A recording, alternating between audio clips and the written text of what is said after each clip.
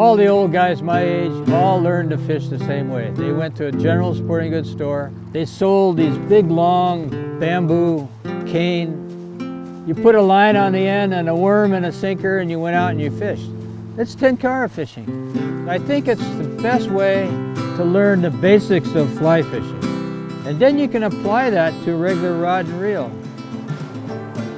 I love to do what the river tells me to do, and it only takes a minute or two to find those clues, to uncover those clues. I always try to think like a fish. I want to guess where, if I was a fish, I would stay. So normally my line's down here, and I want to cast up here. So I bring it up, I lay the line down, and then I do a roll cast. You stop high and then let it go down. This will give you a very high, delicate presentation. These are the presentation casts I'll use to fish dry flies in water such as this. You know, somebody said, the more you know, the less you need. And that's what I'm working towards.